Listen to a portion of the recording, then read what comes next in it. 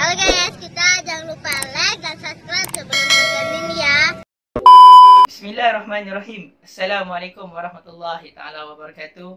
Welcome back to my channel sahabat-sahabat. Dah seminggu kita tak berjumpa kerana kesibukan saya beberapa minggu ini. Jadi sahabat-sahabat, hari ini saya nak update dengan anda okay, konten kita pada hari ini untuk update Wahid Invest yang mana dah kita buat pada bulan 2 hari itu. Jadi bagaimana perkembangannya uh, pelaburan Wahid Invest yang telah kita lakukan bersama-sama. Jadi kepada rakan-rakan yang belum lagi buka Wahid Invest, akaun Wahid Invest, anda boleh mulakan dari sekarang. Dari sekarang.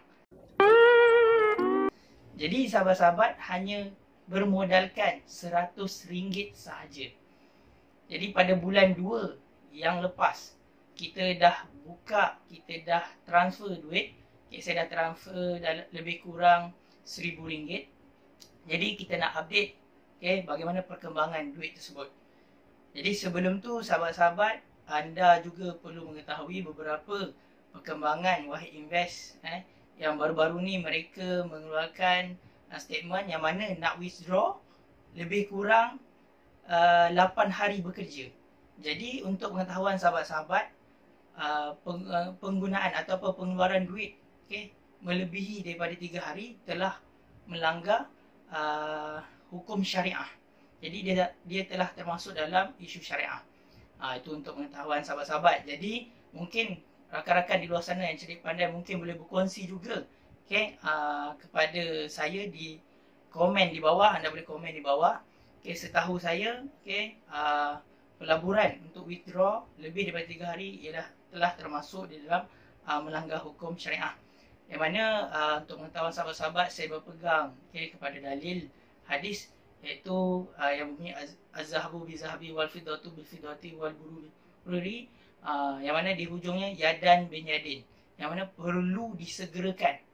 Uh, maka dalam hukum syariah okay, uh, telah uh, terlibat eh, uh, pelanggaran uh, 8 hari tersebut. Jadi uh, saya dah telefon uh, beberapa minggu yang lalu uh, dengan Wahid Invest. Jadi mereka uh, sedang merefer kepada pakar syariah mereka lah. Okay, jadi itu uh, baru-baru ni okay, yang dah saya update kepada Wahid Invest. Jadi jom kita sama-sama tengok bagaimana perkembangan duit kita dalam Wahid Invest. Jom, let's go. Okey, jadi sekarang ni kawan-kawan kita nak tengok eh uh, bagaimana uh, pulangan yang diberikan oleh Wahid Invest. Jadi sebelum tu uh, kita tak boleh login melalui aplikasi uh, desktop punya view uh, Invest sebab Wahid Invest membagi tahu please log in using the mobile apps. Okay, uh, jadi kita kena uh, buka melalui aplikasi je. Dia baru nak update uh, melalui uh, version web dia lah. Okay, jadi jom kita tengok. Okay, Wahid Invest. berapa pulangan yang diberikan Okey, jadi sahabat-sahabat kita boleh lihat di sini, okey. Uh, percentage gain yang diberikan uh, daripada bulan Februari sehingga sekarang ini hampir lebih kurang 8 bulan lah. Kan? Bulan 2 saya masuk, okey. 2 3 4 5 6 7 8. Eh 6 bulan, lebih kurang 6 bulan, maaf. Eh, lebih kurang 6 bulan. So 6.77% So lebih baik daripada ASB tuan-tuan. Okay, apa kita lihat di sini ASB bagi 5.5. Sedangkan ini Wahid Invest baru sahaja lebih kurang 6 bulan dah bagi 6.77%. Okay, sebelum ni kalau rakan-rakan melihat pada chart tu, okay, kita boleh gerakkan chart nampak. Ha tu. Ha, chart tu kita boleh gerakkan. So yang paling tinggi tu chart tu dia dah bagi 7%. Eh? Hari Khamis hari tu tak silap saya. Okay. Ha, dia dah bagi 7%. So, dia turun sekejap. Ha, so, uh, berapa nilai yang saya dapat itu RM73.23. Okay.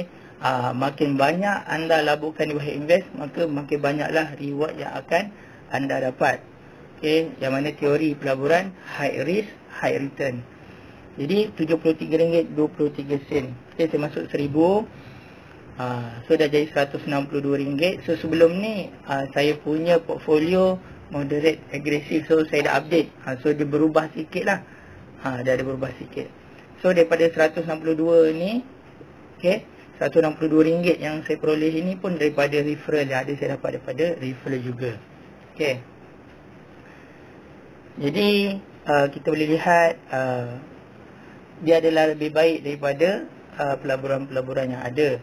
Okay, uh, jadi sahabat-sahabat boleh nilai sendiri, boleh kira. Jadi uh, pengiraan tidak pernah salah. Okay, uh, anda kena kira tapi jangan berkira. Okay, anda kena kira tapi jangan berkira. Jadi uh, sebanyak uh, RM73 yang saya peroleh ini. Okay, padahal saya masuk 1000 so dapat 162 So ada perubahan daripada uh, nilai yang ditambah daripada referral okay, Orang yang join dan orang yang join tu pun dapat juga nilainya yang join. Okay, saya punya referral code. So, anda boleh masukkan referral code anda. Put Nur 1. So, anda akan dapat sekarang ni Wahid bagi RM10 sampai ikut referral code tu. So, kalau anda ikut referral code saya, Put Nur 1, anda akan dapat RM10 juga. Okay, saya pun akan dapat RM10 macam itu. So, uh, kita juga perlu mengetahui tentang fee brokerage. Okey, yang mana Wahid juga ada ambil uh, keuntungan eh sedikit uh, yang dikenal sebagai free, free fee brokerage. Okey. Okey, kepada rakan-rakan yang ingin menjana pendapatan melalui pelaburan saham, anda boleh buka akaun pelaburan saham yang dikenal sebagai akaun CDS iaitu Central Depository System. Jadi anda boleh kontak nombor di bawah ini untuk anda membuka akaun CDS. Jadi kepada rakan-rakan di luar sana, khususnya anak muda, jangan lepaskan peluang ini. Iaitu penasihat otak nilai marketing Dr. Rahim Ibrahim bersedia membantu anak muda untuk mulakan pelaburan di Bursa Malaysia. Jadi like page otak nilai marketing dan follow website kami www.otaknilai.com. Ah, contoh kalau RM1,000, okay, uh, dia punya keuntungan yang diambil oleh Wahid sebanyak 0.795%.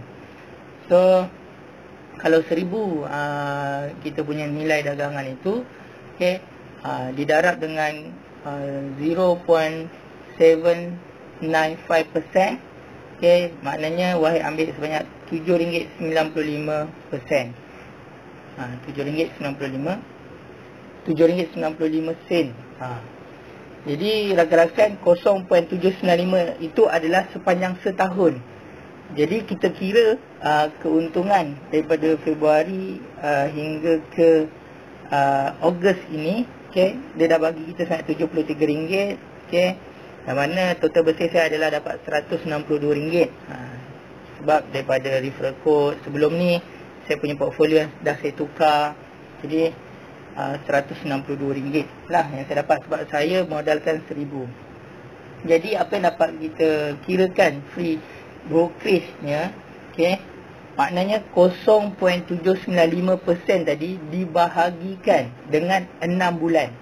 Maka dia menjadi sebanyak 0.1325%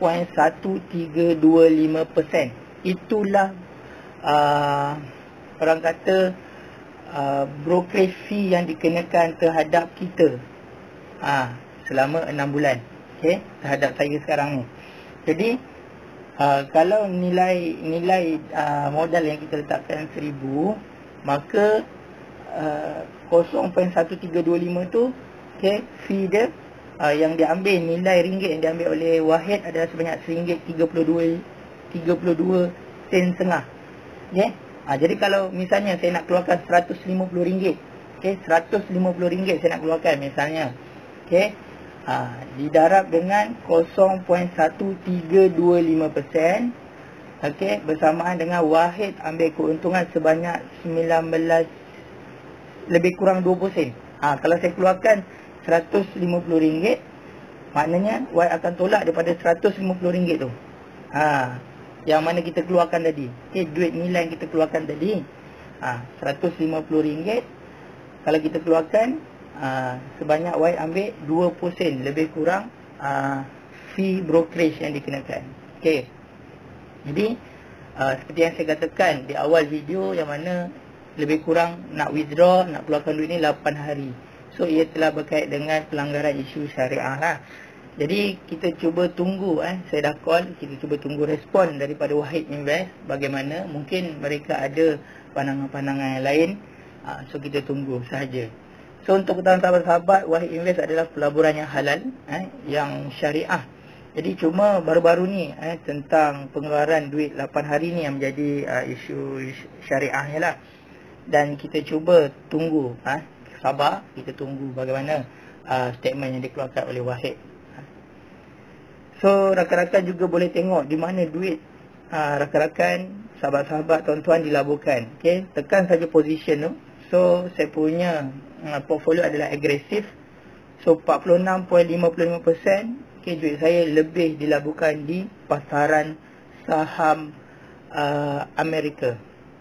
So kita boleh tengok okay, RM540.97 okay, dilaburkan di US stock. Okay, pasaran saham US stock. So kita boleh tengok Wahid, FTSC, USA, Syariah. So tekan je. Okay, yang mana uh,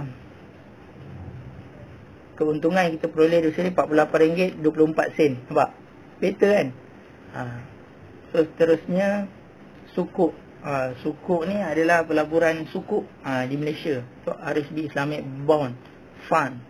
So kita tekan je. Tengok berapa gain ataupun loss kita dapat RM6.87 okey lah so Malaysia stock iaitu pasaran saham di bursa Malaysia kita okey ha, kita tekan je okey Malaysia Islamic Dividend okey sebanyak RM196 dilaburkan so kita dapat uh, gain sebanyak RM28.86 so better lah betul tak so di gold okey uh, di uh, pelaburan emas juga dilaburkan sebanyak RM116 duit saya ni. Okey sebanyak 10%. Okey, trade plus syariah gold.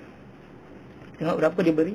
RM10.85. So okey, so total-total saya dapat lebih kurang keuntungan begitu. Okey.